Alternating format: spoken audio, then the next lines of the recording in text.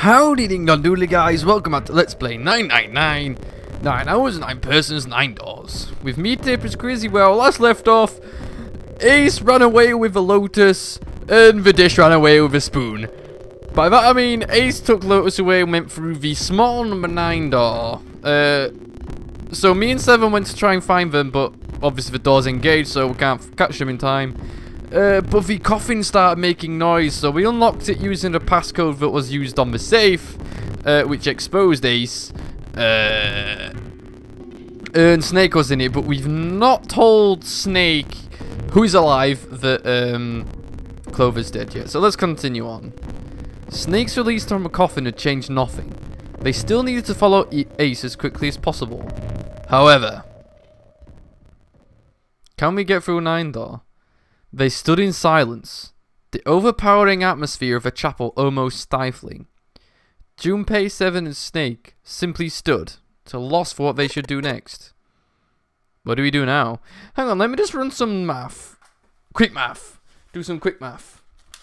Okay, so who do we have available with us at the moment? Surely one team can make nine with a digital root. We have Snake, Junpei, June, uh, seven. And what number Santa? Eight, one, two. Santa's got to be three then. You'd think. So two plus five is seven. Plus six is thirteen. Plus seven is twenty. Plus three is twenty-three. Two plus three is five. So not all of us can get through, uh, which is a shame. Anyway, let's continue on because I'm sure the game will solve it for us anyway. He glanced over at Snake's wrist. Sure enough, he could see the two on the bracelet on Snake's wrist. The three of us can't make a digital root of nine. Yeah, we just get five. We're stuck here then. Oh, hey, I just remembered something. Seven began patting his pockets, as if he were checking to see if any of them held anything. What? Is it? What is it? Oh. What is it? I'm sorry, I got my voices. Seven and Snake for both begin with S. I, uh, I found something earlier. What did you find? This. He'd finally found the pocket he wanted, and his hand dove into it. Seven pulled out something round and metal. the zero bracelet. There was no mistaking the number glowing at them from a face like a cartoon eye. Zero. Zero's bracelets. What the hell? Are you saying that Seven has the number zero bracelet? Y yeah. Where did you get that? Snake's question was innocent enough, but if he learned the truth, if he'd been able to see, he would have noticed Seven look away. Clover gave it to me. She did? Yeah. How did she come by it? Well, she found it, see? On the other side of door one, A deck, in the captain's quarters. To hold on to it because it was too big a bucket for her to be looking around. It was a lie, and Junpei knew it.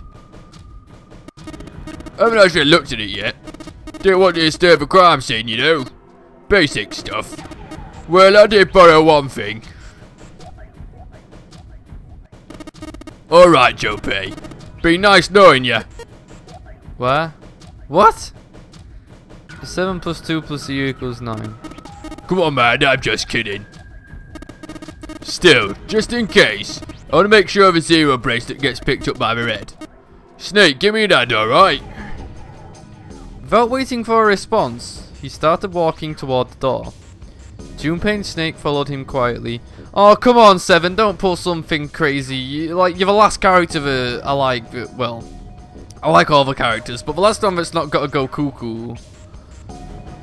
Seven and Snake put their palms on the red. Once they'd done that, Seven put the number zero bracelet on the scanner panel as well. A third asterisk appeared on the screen. 7 plus 2 plus 0 equals 9. Now they just needed to pull the lever, and the door would open. Error. Huh? Why isn't it opening? Um. Well, the third asterisk lit up, so. Must have registered the zero bracelet. Maybe it isn't actually zero. Huh? What? That bracelet may not actually produce the number zero when scanned. That is what I'm saying. Why don't you try a few different combinations? Perhaps you can determine what number that bracelet actually contains. Junpei nodded. They decided to use the following combination. So, Snake plus Junpei. 5 plus 2 equals 7. Okay. Snake plus Junpei plus a mysterious bracelet. Yeah.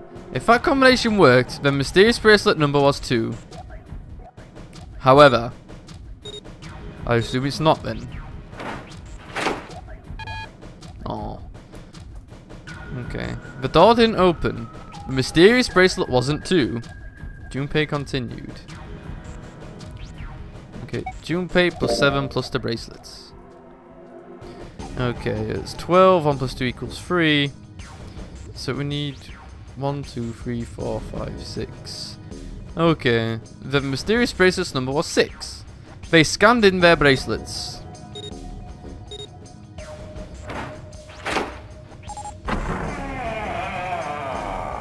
Okay, so the bracelet 6.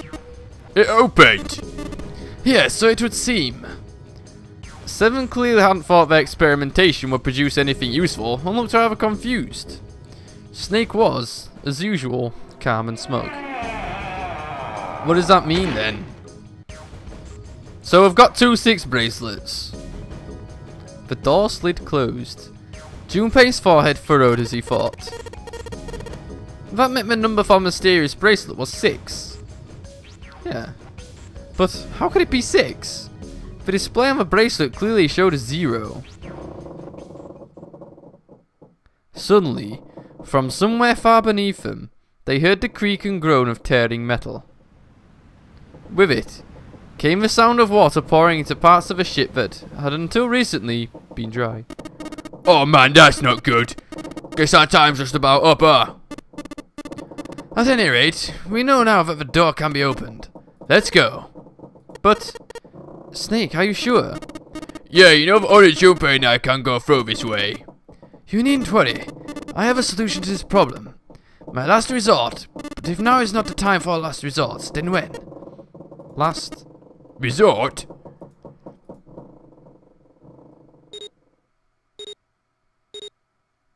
Uh, am I going to ask what his last resort is before we go through there? Best not be a plan that involves Clover being alive. Okay. Okay. Are we through? Hey, we not dead. Goes. So who's left behind then? We have Snake, June, and Santa. 6, 7, 8, 9, 10, 11. That's not enough. That's only got a digital of 2. Um, even if Clover was even if Clover was there, I don't think I'd be able to get through. Junpei 7 and Snake ran. Full tilt down a long straight hallway. How Snake with us? They were headed for the stern of the ship and had no time for distractions. As they ran, Seven spoke. Gotta admit, you really surprised me there, kid. To figure out how the hell you were gonna get out of that one. Come you didn't do that right off the bat. As I told you, it was a last resort. Had I used it at the beginning of the game, I would have come under a great deal of suspicion. I imagine most people would have taken it to mean that I was zero. Once they convinced themselves of that, I was optimistic about my chances of making out of here alive, let alone unscathed. I felt it best to play my cards close to the chest, as it were. But wait, if I were in a situation where there was nothing else I could do, I'd have a little trick up my sleeve. I'd just take my bracelet off. Snake's plan had been simple, but effective. He'd simply removed his bracelet. oh, cause he's got a prosthetic arm. Is he just took his arm off? That's a flaw in Zero's plan. How? To Junpei, it had looked as though Snake had simply crushed the bones of his hand until they were small enough to fit through the wristband. Of course, that would have been practically impossible. So, how had he done it? My brother's left arm is, um, it's not like a normal person's arm. It's fake. It's not a real arm. Snake had slid the bracelet off and tossed it into the coffin. With it gone, he'd had little to fear from the numbered doors. He'd walked through the door easily without authenticating. He stepped out the other side, unscathed, and began running down the hall alongside Seven and Junpei. What about June and Santa? They kept running for a while longer, and eventually came upon a set of stairs leading downward on the right hand side of a hallway. They stopped, and peered down the staircase. As far as they could tell, it went all the way to the bottom deck. There didn't seem to be any flooding. They nodded quickly to one another and jogged down the stairs. It took only a few minutes to make their way to the bottom deck. There was a single hallway in front of them, at the end of which was a single door. Junpei threw it open. Oh! Very industrial. Inside was a massive iron gate. The Black Gate! A plate was affixed to the top of it. Uh, no. How about that's not no fly zone? No, it read incinerator. Incinerator? Oh my, that doesn't sound very pleasant. Do you see a lever near the gate, perhaps? Y yeah, right over here. How did you know that? Well, I'd be happy to regale you with, a story. I imagine it should only take half a day or so. Ugh. Junpei grumbled, gave Snake a dirty look, and jogged over to the lever. If you pull it, the door ought to open. Got it. He pulled the lever down. Pull the lever, Crunk! Just like loads of flames come gushing out. Wrong lever! Run! With a rumble of an ancient motor, the door opened. There was no need to hold back and no time to hesitate. They pushed their way inside. We've only got four minutes to save the world. Standing in front of them were Ace and Lotus. Oh, you're back to the same old shit, Ace. Ace still held the revolver in his hand. It was still pressed hard against Lotus's temple. A small dark bruise had begun to form near the tip. Even from several, several yards away, Junpei could see that Lotus was shaking. She was terrified. But perhaps more interesting was what Junpei saw behind them. Nine. Another number nine door? But why? Why was there another one? The door stopped Junpei in his tracks. It simply shouldn't have been there. As his brain finally began to consider why, the whine of a warning klaxon filled the air, drowning out any thought. Warning, warning. Emergency incineration command has been acknowledged. Uh, stood in the incinerator? Automatic incineration will take place in 9 minutes. Please evacuate the incinerator immediately. Oh my, how exciting.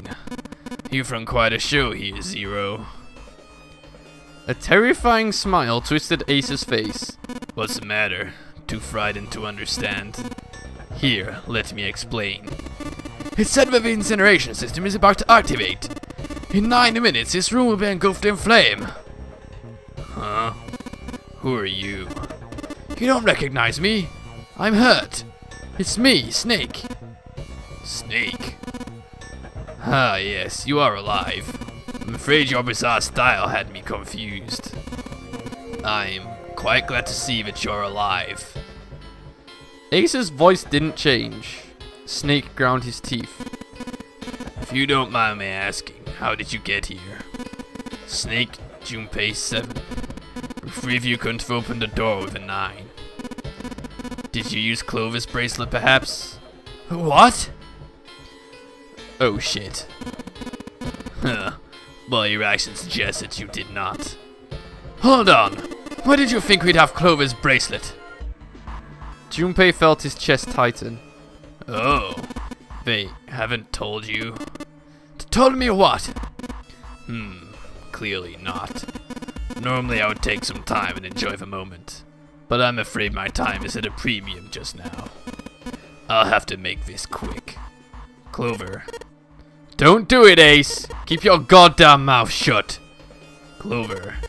I said stop it! Don't listen to him, Snake. Junpei could feel his voice going hoarse, but Snake didn't listen to him. What happened to Clover? Ace looked at him. The corner of his mouth curled into a hook of a cruel smile. Clover died. oh! It's gonna go Super Saiyan! what? The colour left Snake's face. He shook his head weakly. No! That's not true! That's impossible! It's a lie! It has to be a lie! Oh, it's quite true. I can assure you of that. I killed her myself, you see. What? I'm sorry, did I stutter? I killed her. Oh, this is where he's gonna like do, do a freaking Kamehameha or something. Snake's face twisted into a mask of rage, mottled red rising to dot his pale skin. His entire body shook. He looked to Junpei, disturbingly like a demon. I would have rather she died with less suffering. A bullet in her brain perhaps would have been ideal. Unfortunately, that would have made quite a bit of noise. Circumstances being what they are, I was forced to settle for a knife. The one the knife man had, you remember? I believe I caught her just below the shoulder blade.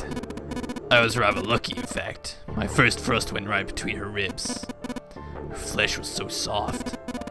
My knife slid in so easily. There was no resistance. This is sadism at this point, man. He's got no reason to be tormenting Snake at this point. This is just pure sadism. That feeling was, I confess, feel rather excited. It is a powerful memory. Someday, perhaps, I hope I can feel it again. Incineration will begin in seven minutes. I'm going to kill you. Snake's words were a gut guttural growl, barely audible. Hmm, I'm sorry, what? I'm going to kill you. Ah, so you're going to kill me. Please do. Come now, I'm waiting. Don't do it. Don't listen to him, Snake. Stop it, kid. He's square with your head. And he's got a gun which you probably can't see. Is there a problem? What are you waiting for, boy? Don't you want me to send you to join your sister? Don't! Snake! Don't do it! But Snake could no longer hear them. Snake could no longer hear anything. Ah! Ah! Snake moved like a bolt of lightning. His scream echoed through the incineration chamber, full of rage and despair. Snake! Snake! Nah! Oh my god, what for, what sort of gun is that?